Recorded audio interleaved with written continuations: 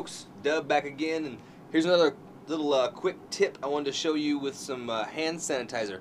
Again, a little item you can find in the medicine cabinet.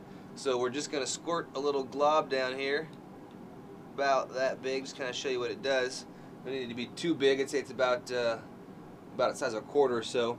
And it just shows you right here, it says the uh, active ingredient is uh, ethyl alcohol at 62%. So we'll put that over there. And then again, we can just use the little spark wheel. I also have the ferro rod here. Will work just fine as well. Get down in there.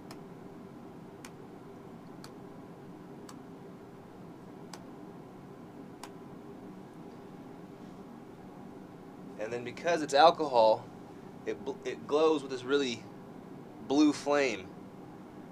And uh, it it's fairly uh, I mean, it's quite hot, actually. You know what I mean? And it burns for a good little while.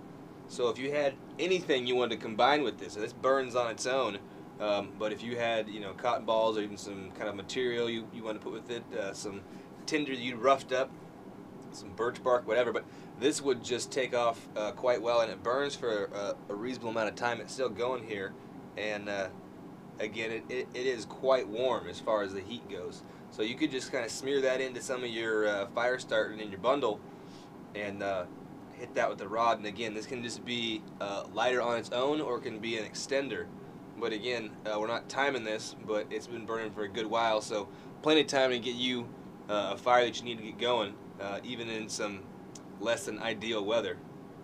So we'll go ahead and just let her burn out. But I want to say thanks, folks, and we'll see you at the next one.